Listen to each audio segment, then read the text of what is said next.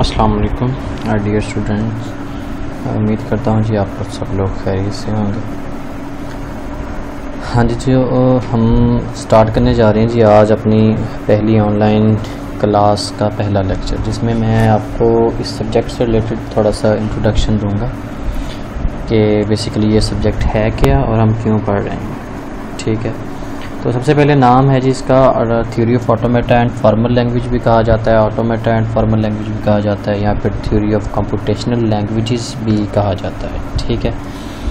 तो सब्जेक्ट का नाम थ्योरी ऑफ़ ऑटोमेटा या फिर theory of automata and formal languages है। उसके बाद इसको पढ़ने के हमारे जो मेन ऑब्जेक्टिव्स हैं, वो introduce concept in automata theory and theory of computation के बेसिकली जो बेसिक कंसेप्ट हैं ऑटोमेटा के ऑटोमेटा की जो थ्योरी है उसके और फिर जो कंप्यूटेशन की थ्योरी है उसके। अब ऑटोमेटा बेसिकली क्या होता है? अगर थोड़ा सा हम इसका इंट्रोडक्शन देखें तो ऑटोमेटा ऑटोमेटिशन से निकला यानी कि जो हमारी मशीन्स हैं या कंप्यूटर की वर्किंग है ऑटोमेटिकली खुद ब खुद on the basis of instructions हो रही है। तो हमने ये चीज़ समझना है कि फिर कैसे हो रही है। अब हमें ये तो पता है कि एटीएम मशीन है या फॉर एग्जांपल जो कंप्यूटर है, इसकी अगर डेफिनेशन हमने देखी हुई है तो इनपुट लेता है प्रोसेसिंग करता है और आउटपुट देता है, ठीक है? हमें ये तो पता है कि ये तीन स्टेप में ये काम कर रहा है। अब ये जो तीन स्टेप कैसे परफॉर्म हो रहे हैं, इसके अंदर वर्किंग कैसे हो रही है, कैसे स्टेट वन से एक स्टेट से दूसरी स्टेट में वो मूव कर रहा है, ये सारी की सारी जो थोरेटिकल चीज़ें हैं, ये हमने डिस्कस करनी है थ्योरी ऑफ़ ऑटोमेटा में या फिर थ्योरी ऑफ़ कंप्यूटेशन में, ठीक है? Identifying different formal languages classes and their relationships अब डिफरेंट जो हमारे पास लैंग्वेजेस मौजूद हैं फॉर्मल लैंग्वेजेस हैं, उनकी क्लासेस के बारे में और उनकी आपस में जो रिलेशनशिप है, उसको हम डिस्कस करेंगे। डिफरेंट ग्रामर्स बनाएँगे, उनको रिकोगनाइज करवाएँगे और फिर डिफरेंट फॉर्मल लैंग्वेजेस के ज़रिए उन ग्रामर्स का आपस में ताल्लुक देखेंगे कि क्या ये जो है वो हमारा ऑटोमेटा है जो हमारी मशीन है वो इसको रिकोगनाइज कर भी रही है या नहीं कर रही। ठीक है?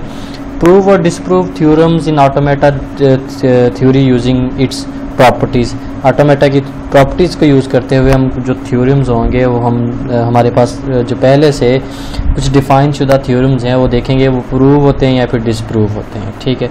Determine the decidability and intractability intractability of computational problems अच्छा जी, इसके बाद हमारे पास इस कोर्स को पढ़ने से पहले या इस कोर्स को हमने तीन पार्ट्स में डिवाइड करेंगे कि रेगुलर लैंग्वेजेस क्या हैं उसके बाद सेकंड होगा कि कॉन्टेक्स्ट फ्री लैंग्वेजेस क्या हैं और थर्ड पार्ट इसका हम ट्यूरिंग मशीन या एंड डिसडेबिलिटी जो है उसको देखेंगे। अब इस कोर्स को पढ़ने से पहले जो पिछले सेमेस्टर में थर्ड सेमेस्टर में या फिर सेकंड सेमेस्टर में आप, आपने जो कोर्स पढ़े हुए हैं discrete structure and data structure and algorithms ये आपने दो कोर्स लास्ट सेमेस्टर में पढ़े हैं। तो इस कोर्स को पढ़ने से पहले इन कोर्स ये जो पिछले जो सेमेस्टर में आपने पढ़े हैं, इसके मतलब का आपके पास नॉलेज होना चाहिए। यानी कि जो प्री रिक्वेस्ट है इसकी कि आपके पास ये जो चीज़ें हैं, ये जो डाटा स्ट्रक्चर में जो हमने कॉन्सेप्ट पढ़े हैं, या जो आपने मैथ का सब्जेक्ट डिस्क्रीट स्ट्रक्चर है, इसमें जो कॉन्सेप्ट पढ़े हैं ये आपको पहले से आने चाहिए, ठीक है?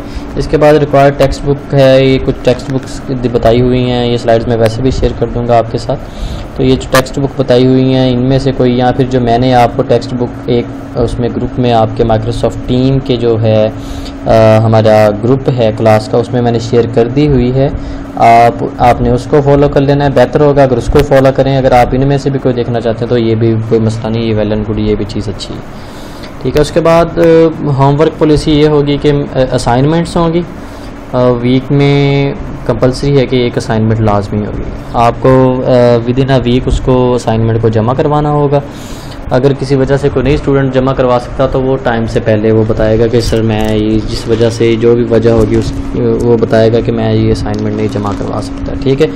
तो वो डेट की जो एक्सटेंशन है, वो अगर कोई पॉसिबल हुआ कि हाँ जी, होनी चाहिए तो फिर होगी अदरवाइज़ बड़ा स्ट्रिक्ट रूल होगा, आपकी असाइनमेंट बेस्ड नंबर होंगे और वो उसी वक्त मिलेंगे जब आपकी असाइनमेंट जो है वो सबमिट होगी।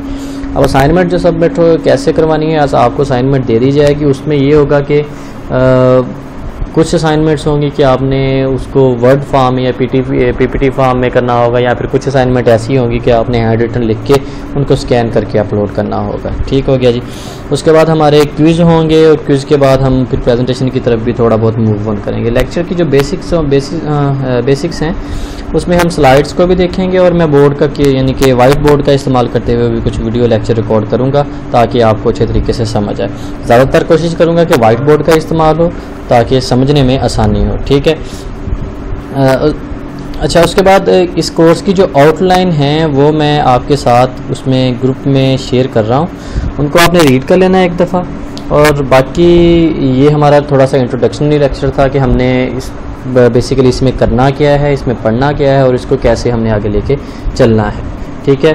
तो होप सो आपको समझ आ गई होगी। अगर किसी बच्चे को भी यहाँ तक इसमें इंट्रोडक्शनरी लेक्चर में कोई भी इशू हो तो वो कमेंट में पूछ सकता है या डिस्कशन रूम में पूछ सकता है। तो कल हमारी क्लासेस में हम नेक्स्ट लेक्चर को डिस्कस नेक्स्ट लेक्चर जो है हमारा इसमें बेसिक्स में स्टार्ट करेंगे बेसिक्स से। तो उस इसका ये पैटर्न ये होगा कि क्लास शुरू होने से ना कुछ देर पहले या दो तीन घंटे पहले आपके जो माइक्रोसॉफ्ट टीम का जो ग्रुप है, उसमें मैं लेक्चर को अपलोड कर दिया करूँगा। ठीक है? तो आपने वो लेक्चर डाउनलोड करके या फिर ऑनलाइन देख के लेक्चर को पहले से रेडी हो जाना है। उस लेक्चर को देखने के बाद अपने जो क्वेश्चंस होंगे, या जो क्यूरीज होंगी, वो अपने पास लिख लेनी है। जैसे ही हमारी क्लास का टाइम आएगा, जो भी टाइम टेबल में वो टाइम है, उस टाइम मैं ऑनलाइन होगा और आपकी सारी क्लास ऑनलाइन होनी चाहिए। ठीक है? और अटेंडेंस होगी, आपने अपनी प्रेजेंस को इंश्योर करना है। अगर कोई बच्चा एबसेंट होगा तो वो एबसेंट मार्क होगा, ठीक है? तो आपने उस वक्त डिस्कशन रूम में क्या करना है कि अपनी जो जो भी आपकी क्वेरीज होंगी, आपने वहाँ पे हम डिस्कस करेंगे कि जो उस लेक्चर से मतलब आपको क्वेश्चंस हैं तो उन क्वेश्चंस का मैं हल बताऊँगा आपको कि उन क्वेश्चंस को सॉल्व कैसे करना है या उनका सोल्यूशन क्या है। तो अगर कोई भी उस लेक्चर से मतलब कोई भी आपका मसला हुआ तो हम उसको डिस्कस करेंगे उस टॉपिक से रिलेटेड उस लेक्चर से रिलेटेड तो ठीक है जी अब नेक्स्ट लेक्चर जो है वो इंशाल्लाह कल वाली क्लास में आपको इसका जो इंट्रोडक्शन है, इस, बल्कि ये सिर्फ़ इस कोर्स इस कोर्स का इंट्रोडक्शन था। अब आगे फर्दर हम किसी ना किसी टॉपिक की तरफ़, जो पहला टॉपिक है, उसकी तरफ़ मूव करेंगे ओके जी, अल्लाह हाफिज़।